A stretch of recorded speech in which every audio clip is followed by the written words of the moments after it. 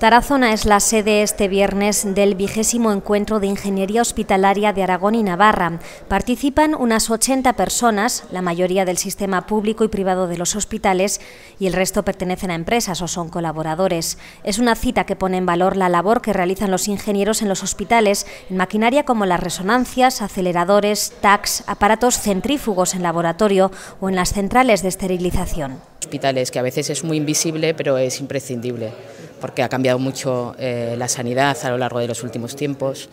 Entonces antes con el ojo clínico eh, eras mejor o peor eh, sanitario, pero hoy en día imaginaros con la tecnología que hay, el tener habilidad o no con los, con los equipos de electromedicina con las instalaciones de última generación, etcétera, pues también es una labor muy importante que ayuda mucho. Aquí hay un poco de todo, porque también hay empresas desarrolladoras, pero sobre todo el foro, eh, fundamentalmente estamos la gente que mantenemos esos equipos, que optimizamos las instalaciones, los consumos, proponemos soluciones sostenibles en el tiempo, respetuosas con el medio ambiente. Esta reunión anual se celebra en cada edición en una comunidad autónoma diferente. El objetivo es compartir experiencias, casos de éxito, conocer las últimas normativas y las tendencias punteras. La ingeniería hospitalaria ha mejorado en los últimos años en Aragón.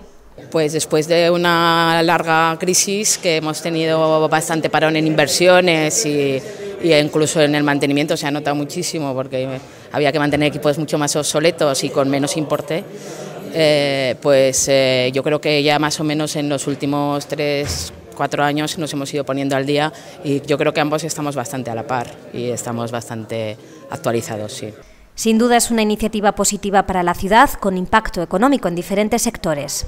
El estar en un encuentro eh, de estas características pone en el mapa Tarazona y no solo lo pone en el mapa para las personas que están aquí, sino lo pone en el mapa para todas las personas eh, que durante este tiempo han estado haciendo la organización, la logística de este encuentro que ya va por su vigésima edición y lo que hace que se consolide aquí en nuestra ciudad un encuentro de ingeniería hospitalaria de Aragón y Navarra y, nos da nombre, nos da nombre y además aprovechamos para dar a conocer nuestra ciudad, que también esa es una cuestión muy importante, eh, que conozcan nuestros recursos y que cuando vayan a su destino pues los den a conocer ellos también.